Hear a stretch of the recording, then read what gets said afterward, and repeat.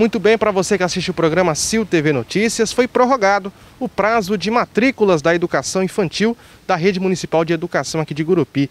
O prazo encerraria hoje, dia 7 de dezembro, mas foi prorrogado até o dia 9 de dezembro, na próxima sexta-feira. Eu vou conversar agora com o coordenador de inspeção escolar, o Rogério Dias, que vai explicar para a gente um pouquinho desse, dessa prorrogação desse prazo e como os pais podem realizar a matrícula, já que o prazo já está bem pequenininho. Boa tarde. Boa tarde. Bom, nós tínhamos um prazo que seria até hoje, dia 7, para que os pais pudessem ir às unidades para efetivar a matrícula.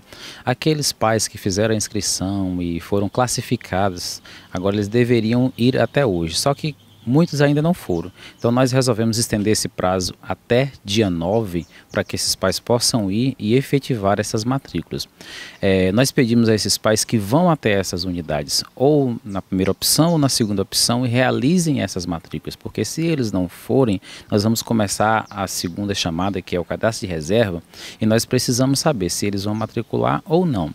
Chegando sexta-feira, se eles não estiverem aí, nós vamos entender que eles não querem a vaga, aí nós vamos começar a chamar o cadastro de reserva, que também estão lá à espera de uma vaga para os nossos CMEs.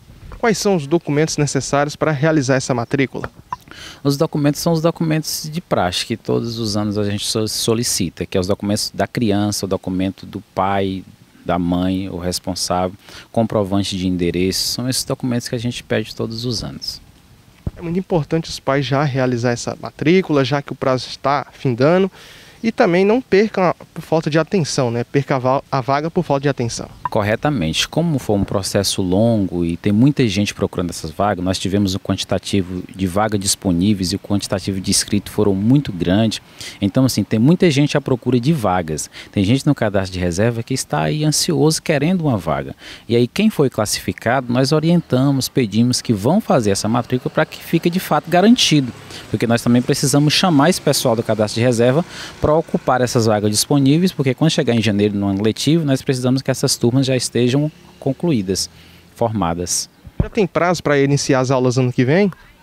Ainda está sendo analisado pela CEMEG e logo será divulgado o calendário oficial do ano 2023. Muito obrigado. Então tá aí, as matrículas foi prorrogada até a próxima sexta-feira, dia 9 de dezembro de 2022, da educação infantil aqui no município gurupiense. Com imagem de Felizmar Martins, eu sou Francisco BH para o programa Sil TV Notícias.